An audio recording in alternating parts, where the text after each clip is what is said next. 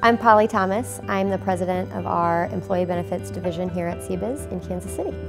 The Employee Benefits Division at CBIZ is really focused on helping our clients um, create benefit programs that help them retain and attract employees and help them think even more broadly um, than just about their health insurance, but how do you create um, a corporate culture that is um, engaging, that is one that employees thrive in? How do you create well-being programs that um, do much of the same? We absolutely have to practice what we preach um, because if we aren't walking the walk, then it's not authentic when we try to help clients do the same. And so that takes practice and it takes um, continually thinking about that and, and, that being top of mind. We also believe that um, business is personal and that if you can get to know someone on a personal level that um, you're more apt to run through walls for them and to create unparalleled um,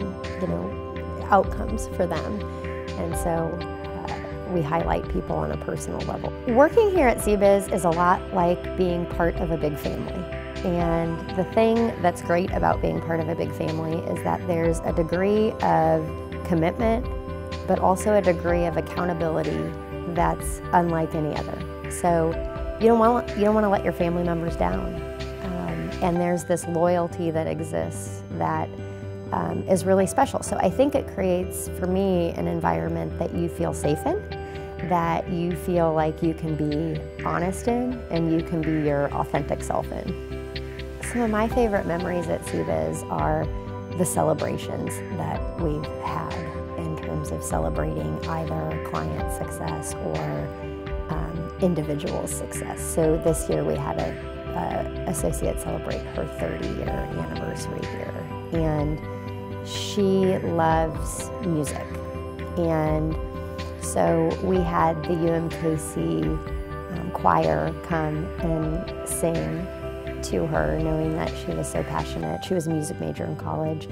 Um, and her you know, the gift of appreciation that we gave her was a painting of some musical notes and just to see the joy on her face and the ability to personalize and how excited we run lean, um, but how excited our team was to be a part of planning and making that come to fruition was awesome. I think Kansas City is such a hidden gem in that people in Kansas City, both in the business community and just personally, I think really want to see others succeed. And so it's a community of collaboration versus competition. And I love that. I love that. I think there's no better place to be. I think people who come in from other cities are often surprised about how nice people are. And it's genuine. I think that people genuinely here want to help each other succeed. And um, so I think that's a really special thing about Kansas City.